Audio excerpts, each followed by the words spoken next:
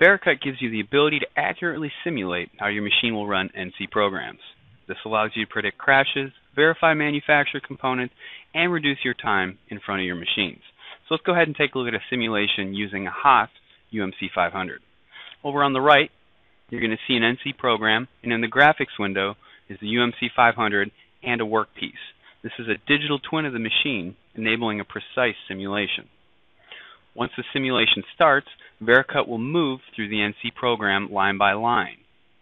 Machine movement as well as material removal is identical to the real world results. During the simulation, you're able to manipulate the view to see any issues with the program. Vericut makes it easy to catch collisions, gouges, and other costly mistakes by highlighting them in red in the graphics window and by documenting them in the Vericut logger. In this case, we can see there has been a collision on the machine. The errors in the Vericut logger are dynamic. By clicking on them, Vericut goes to the exact line in the NC program that caused the issue. You can then review the movements leading up to and following the crash.